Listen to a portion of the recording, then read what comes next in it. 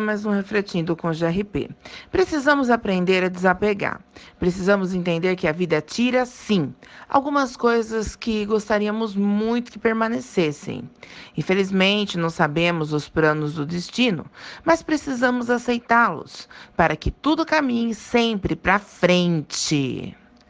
Hoje teremos um relato impressionante, onde a nossa escrita se envolveu com um lobisomem que se achava o dono dela. Bora pro relato, galerinha.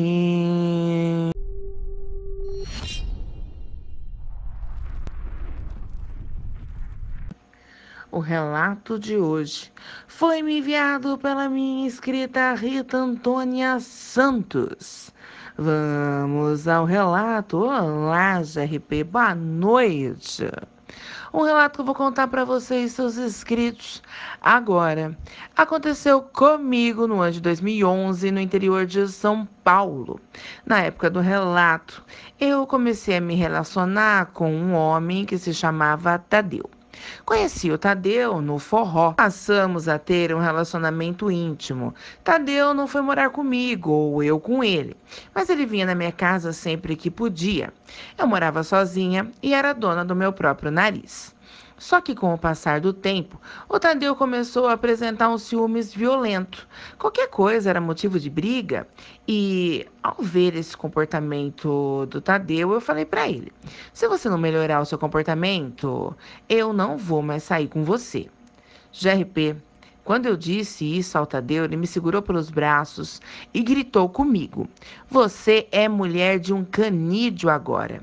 Não vai largar de mim coisa nenhuma. Eu virei para o Tadeu e falei: Eu sou mulher do quê? Então ele disse para mim: quanto menos você souber, melhor.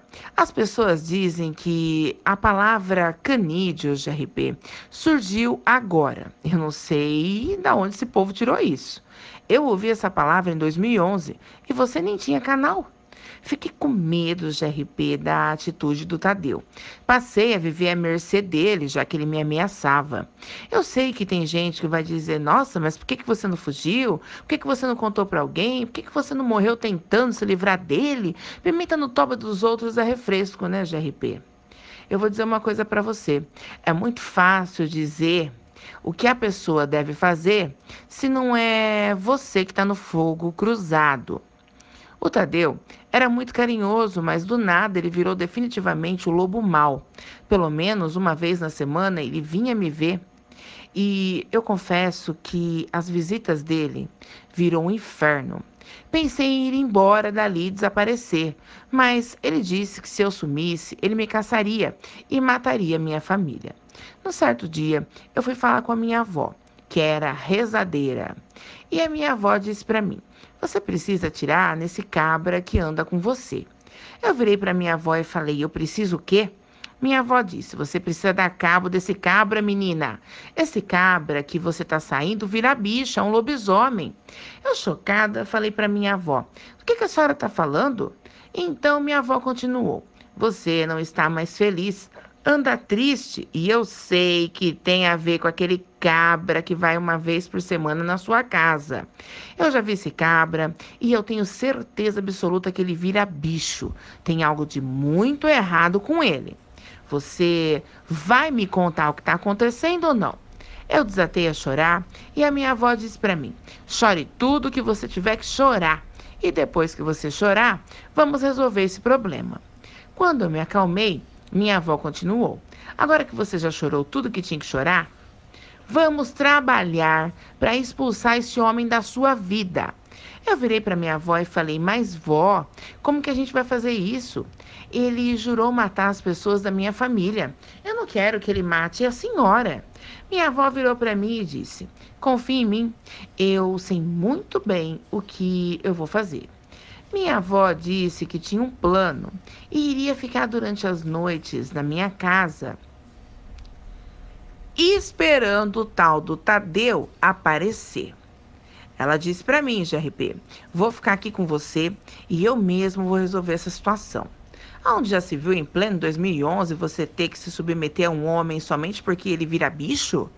Minha avó ficava na casa dela durante o dia e à tardezinha ela ia para minha casa. Até que num certo dia o Tadeu apareceu. Minha avó ficou escondida no quarto e quando o Tadeu chegou, ele entrou na minha casa e pedi para que o Tadeu fosse embora. Minha avó tinha me orientado e disse exatamente o que eu deveria dizer e fazer. Então, quando eu pedi para que ele saísse da minha casa, o Tadeu ligou o modo escroto e me pegou pelo pescoço. Foi aí que a minha avó saiu de dentro do quarto, armada, e disse para ele: Boa noite, seu moço. Minha neta pediu para que o senhor saia da casa dela. Já passou da hora do senhor tomar vergonha na cara e ir embora. O Tadeu me soltou e começou a caminhar para perto da minha avó. Minha avó engatilhou a arma e disse para ele: Eu não vou hesitar em atirar. Acredite, eu sei fazer isso muito bem. Fui criada na roça e matar você seria o mesmo que matar uma capivara. Tadeu olhou para minha avó e disse: Sem arma, eu duvido que a senhora tenha toda essa coragem. Minha avó não arredou pé, não, arrepei, respondeu para Tadeu. Sem arma, eu tenho a mesma coragem que você teve ao maltratar uma mulher indefesa. Agora, fora daqui. Tadeu saiu de fasto, olhando para mim e para minha avó com um olhar de ódio. E quando chegou na porta da sala, ele disse para minha avó que isso não ficaria assim. Quando ele saiu e foi embora, eu rapidamente fechei a porta e a minha avó abaixou a arma. Em seguida, ela disse para mim: Essa casa que você mora é alugada. Você vai entregar ela para o dono e vai morar comigo na minha casa. Dei para minha avó e falei: nem pensar, avó, eu não quero atrapalhar a senhora. Então minha avó disse para mim: Menina, ele vai voltar na forma de fera e vai não só tentar dar cabo de você, como vai tentar dar cabo de mim também. Temos que permanecer juntas. Bom, GRP, minha avó disse para mim que ela até tinha pensado que seria uma boa ideia eu ir visitar meus pais que moravam em uma cidade próxima, já que meu pai tinha ido para essa cidade para trabalhar. A minha avó cogitou de eu ficar um tempo por lá, mas depois ela refletiu muito e percebeu que não adiantaria eu ficar fugindo, eu tinha que encarar a situação. E com tudo isso, eu fui morar com a minha avó. Os meses foram passando e eu realmente achava que o Tadeu tinha me esquecido e que eu poderia voltar a ter minha privacidade. Minha avó também precisava da privacidade dela. Ela tinha um namoradinho muito mais novo que ela e ele ia na casa dela para passar as noites com ela. E eu, GRP, acabava atrapalhando a intimidade dos dois, já que eu dormia na sala e minha avó nem porta no quarto dela tinha, era somente uma cortina que separava um cômodo do outro. Quando eu questionei minha avó, dizendo que eu iria alugar outra casa para mim, ela disse que eu deveria esperar mais um pouco, pois com certeza o Tadeu viria se vingar. Eu esperei mais alguns meses. E quando completou um ano que o Tadeu tinha desaparecido, eu finalmente aluguei uma casa contra gosto da minha avó e fui morar novamente sozinha. Na época, o bairro onde morávamos era um bairro antigo e poucas pessoas tinham muro em suas residências. Eu me mudei para uma casa que ficava dois quarteirões da casa da minha avó. E eu conheci os vizinhos que moravam naquela área. Seis meses depois de me mudar na nova casa, comecei a namorar oficialmente meu vizinho, que se chama Aloísio. Minha avó aprovou o namoro, ela adorava o Aloísio e dizia que agora sim eu tinha arrumado um cabra que prestava. Meu namoro com a Luísa ia de vento em polpa. E eu contei para ele o meu relacionamento tóxico e trágico que eu tive com o tal do Tadeu. E eu disse para ele que o Tadeu virava bicho, mas para mim isso era somente um achismo da minha avó. Eu achava que o Tadeu era louco mesmo. A minha avó chegou a dizer para Luísio que o Tadeu virava bicho sim. E com a Luísa eu precisava cuidar de mim, pois a minha avó ainda achava que um dia a peste do Tadeu voltaria na forma de fera. E se o Tadeu aparecesse, era para o Aloísio dar cabo dele. Minha avó dizia que eu não sabia me defender que nem uma barata eu matava, o que dirá um lobisomem. Meu namorado ficou espantado ao ouvir a história do meu relacionamento com o Tadeu. Só que apesar do espanto, ele disse para minha avó que ela podia ficar tranquila, porque ele mesmo ia garantir o meu bem-estar. Tudo corria tão bem, GRP. Eu estava tão feliz. Mas nem tudo na vida é felicidade, né? Numa certa quinta-feira, algo se jogou com tudo na porta da minha cozinha. Com o barulho, eu dei um pulo da cama desesperada e achei que o mundo estava acabando. Abri o vitrô da cozinha e vi um ser do outro mundo bem de frente para a porta da minha cozinha. Aquilo era enorme, tinha pelos marrons, olhos amarelos, os dentes não cabiam na boca. A face daquele ser era algo bizarro, pois eu poderia jurar que no rosto daquilo ele trazia traços de um ser humano, só que ele era um cachorro gigante. Assim que eu abri o vitrô, aquilo se aproximou do vitrô e eu juro por Deus que eu senti o bafo quente daquela coisa. Atordoada, eu apaguei. Só lembro de sentir a baforada do bicho e depois eu não lembro de mais nada, tudo escureceu. Quando eu acordei, já arrepiou, meu namorado estava me chamando pelo vitrô, junto com outros vizinhos. Eu levantei do chão e senti minha cabeça zonza.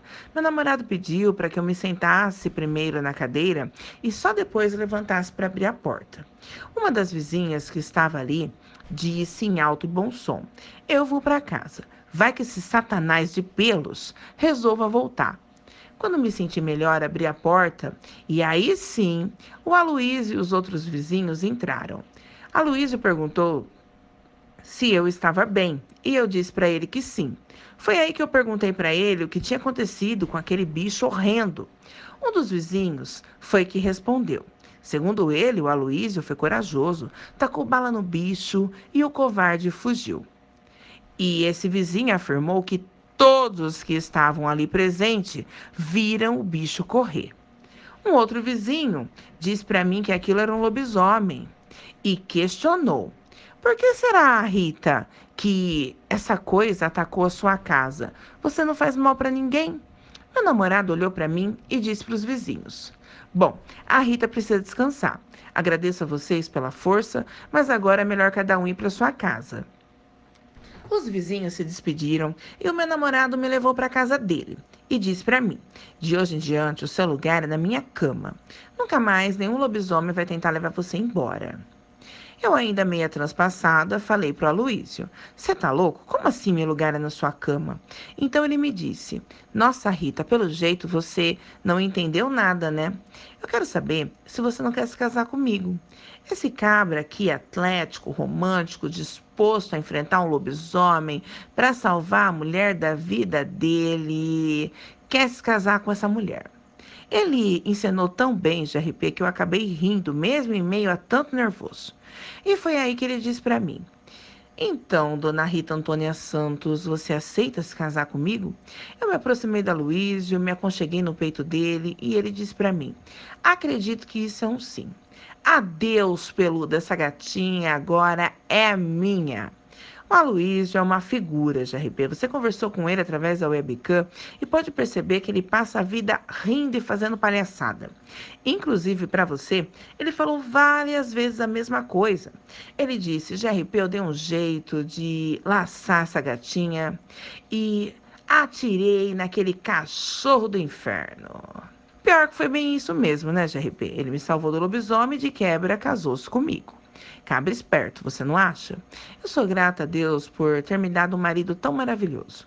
Temos as nossas arranca-rabos? Claro que temos, mas quem não os tem?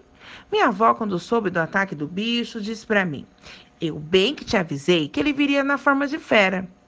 Ele só estava esperando a oportunidade certa. Esses bichos são assim. Quando prometem uma coisa, eles cumprem, seja para o bem ou seja para o mal.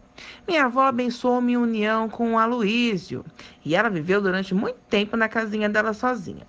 Depois de alguns anos, meus pais vieram morar com ela para cuidar dela até que ela morreu em 2019. Sinto muitas saudades da minha vozinha, que era uma mulher porreta e aproveitou a vida como ninguém. E sempre ficou em alerta, arrepiar ela dormia com a arma debaixo da cama, porque ela achava que talvez um dia o lobisomem poderia vir atrás dela também. Graças a Deus ele nunca retornou. Esse foi o meu relato e eu agradeço a você por narrá-lo e por me dar total atenção. A você, meu muitíssimo obrigado. Abraços a você e a todos os seus inscritos e inscritas maravilhosos. Fiquem com Deus. Rita Antônia Santos. Bom, galera das trevas, essa foi a nossa história de hoje. Sinistra, sinistrengue, sinistras. Agradeço a minha escrita Rita Antônia Santos, que muito gentilmente me enviou seu relato. A você, minha amiga querida, um resto treva beijos. Meus amores e amoras, recadinhos para vocês. Primeiro, convido vocês a baixarem o aplicativo no Play Store da Rádio Carvalho News. Bora pra Rádio Carvalho News, que é uma rádio maravilhosa e eu tenho certeza absoluta que vocês vão amar. Eu ouço essa rádio e recomendo. Quero também que vocês vão até o canal da minha prima Jéssica. Digita na barra de ferramentas aí do YouTube, Jéssica Rebouças Tarô. E vão lá, se inscrevam no canal, deixe curtir like, compartilhe os vídeos e dê uma força para a prima Jéssica crescer aí no nosso maravilhoso YouTube. Não é um canal de terror, mas é um canal de tarô, onde ela traz aí os tarôs do signo zodíaco. Tenho certeza que vocês vão amar, meus amores e amoras que eu amo. Também vou convidar vocês Caso vocês precisem de um curso especializado, seja de carga invisível, MOP, escolar, emergência, coletivo, temos aí o curso da minha amiga Kátia. A Kátia, ela é vendedora de cursos online. Se você precisa de um curso online, assim como eu, GRP, que trabalho com van e renovei o curso online com a Kátia de escolar e coletivo, assim como outros cursos que ela tem para oferecer, bora lá! Anote aí o WhatsApp da Kátia, 12988110267. Não importa o estado que você mora nesse nosso Brasil, a Kátia com certeza vai conseguir ajudar vocês. E tem uma coisinha especial, eu vocês mistérios da escuridão. Se vocês adicionarem a Kátia, fizerem o curso com ela e falar para ela Ô, Kátia, eu conheci o seu curso através do Eu Vou Seus Mistérios da Escuridão da GRP. Ela vai dar um desconto para vocês, meus amores e amoras. Qualquer dúvida, estou à disposição no meu WhatsApp particular. Desde já, vocês, gratidão. Vamos ao Restrava Salve a eles, os membros do canal. A vocês, meus amores e amoras que eu amo, um Restrava Salve carinhoso. E o Restrava Salve para os membros vai para Shirza Fallon, Ivete Fagundes, Isabel Valdir, Marcos Souza, Edu Gomes. Restrava Salve também para Carmen Gandolfi, Luiz Lano, Cláudio Maciel, Silmara Santos, Ana Rita Santos Lopes, Mr. Silva, é de arrepiar. Ulisses Vieira de Mello, Evaldo Ribas. Pezete Lúcio, Lampião Paulista. Caça Marina, Conceição Badaro, Minas Gerais. Sandra Almeida de Mendonça. Gislene Rocha, Nilce do Lago. Vandiva Lima de Almeida, Keliane Ergue Santos. Doutora Jane Lima, Maria de Socorro Silva. Hermília Eustáquio da Silva, Luciana Mendes. C.V. Carlinha Tiva do Paraná. Brenda Lilian Correia. O grupo da anarquia bruxística Irmãos Metralha Místico. Mazinha Ragno. Eliana Nodera e seu filho lindo Konosuke Nodera do Japão. Cláudia Montoro, suas lindas filhas Lei Rafa. Rodrigo Souza, meu amigo Blade. Karina Estrelinha. Cristiane Neves, sua linda filha Yasmin Tiva do Milk Cake. Elias André e seu filho lindo Elis André. Tamires Rodrigues, seus filhos lindos Marcelo Gabriel, Miguel Guilherme. Rose Rodrigues, seus filhos lindos Rebeca Vitória Tauã. Fernando Alves Xavier e sua linda filha Gabi Xavier, Lucimari Silva da Bahia, Alex Cavaleiro do Leão e sua mãe linda, Dona Margarida, Jaqueline Majesques de Curitiba, Paraná, do Céu Cândido e seu filho lindo Gabriel, Felipe Daniel Carvalho, Letícia Carvalho e sua linda sobrinha Brenda, Cici das Estrelas seus filhos lindos, Elvis, Rebeca e Felipe, meus amores e amoras que eu amo. O Hash Treva Salve é simples de você ganhar. É só você comentar o último relato postado. Automaticamente eu vou mandar um restreva salve para vocês no próximo relato que eu postar. Sem mais, gratidão, GRP.